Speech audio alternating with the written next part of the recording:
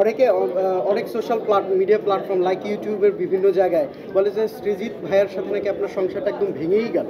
আচ্ছা আমরা কাজ নিয়ে কথা বলি না এগুলো সব এগুলো খুব বাজে কথা এগুলো আমরা একটু কাজ নিয়ে কথা বলি যদি কোনো প্রশ্ন থাকে কাজ নিয়ে। মিথিলা আপু ব্যক্তি জীবনে একজন সাহসী নারী এবং অনেকভাবে সোশ্যাল মিডিয়ায় সাইবার বুলিং এর শিকার হন।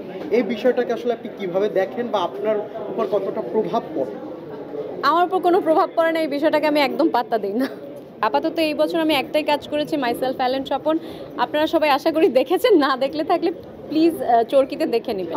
মন্টু পাইলট সম্পর্কে একটু কিছু মানে আমাদের পছন্দের কাজ এটা ভালো লাগে মন্টু পাইলট খুব জনপ্রিয় একটা কাজ ওপার বাংলার। আমি ওটার সাথে সংযুক্ত হতে পেরে আমি আসলে খুবই আমার ভালো লেগেছে যে ওটার সাথে আমি সংযুক্ত হতে পেরেছি। মন্টু পাইলট টু সামনে হয়তো থ্রিও আসবে। আমি থাকব কিনা জানি না তবে আপনারা দেখবেন।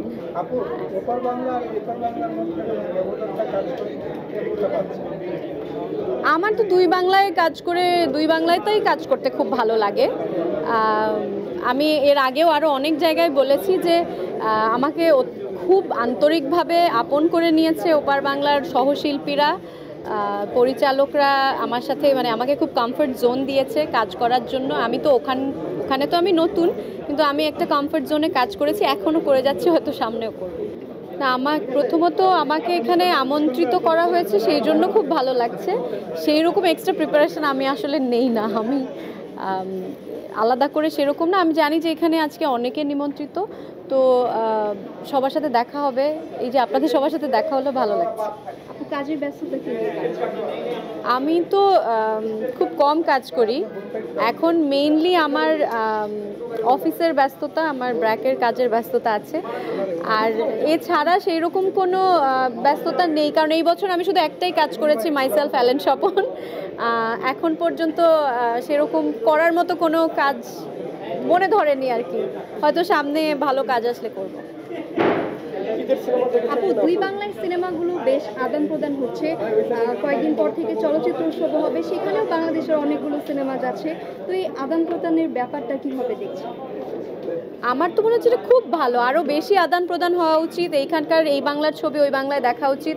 কারণ বাংলা ছবির দর্শক দুই বাংলাতেই আছে। তো দুই বাংলার ছবি যদি দুই জায়গায় দেখানো হয় সেটা খুব ভালো।